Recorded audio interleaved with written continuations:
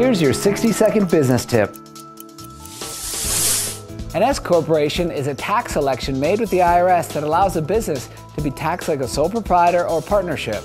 It's often referred to as a pass-through entity since the corporate profits and losses are passed through and reported on the personal income tax returns of its shareholders.